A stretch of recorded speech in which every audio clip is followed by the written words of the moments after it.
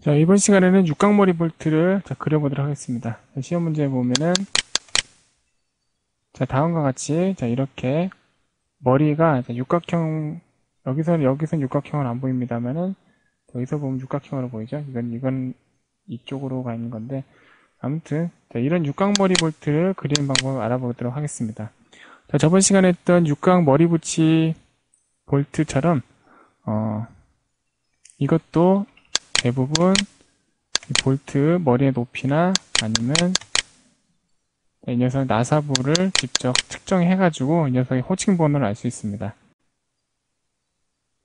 자, 규격집에 보시면은 자 다음과 같이 육각 볼트가 나오는데 어, 육각 볼트도 보시면은 자 호칭지로 육각 볼트가 등급 A가 있고요, 등급 B가 있고 등급 C가 있습니다. 자, 이게 보시면은 육각 볼트 모양에 따라서 자, 등급 A하고 등급 B는 이 밑에 단위 하나 붙게 되어 있고 서로 호칭 치수도 약간씩 다릅니다. 근데 우리가 그리자 하는 것은 여기 보시면은 육각머리 밑에 단위 존재하지 않는 자, 호칭지를 아니, 육각 볼트 등급 C를 그리는 겁니다. 그래서 자, 측정을 해보면은 높이는 3.5고요.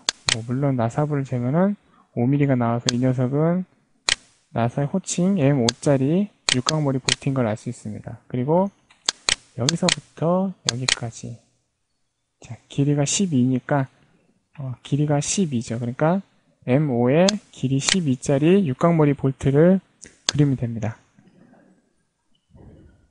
자 그러면은 인벤터에서 새로 만들기 템플릿을 여셔가지고 자 육각머리부터 그려야겠죠.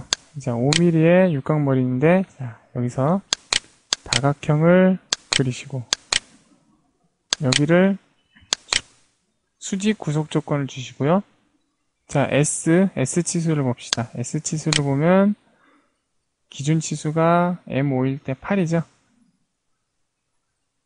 그래서, 8. 높이, K는 3.5 그래서 3.5 만큼 이렇게 하면은 자, 기본적인 높이가 완성됩니다.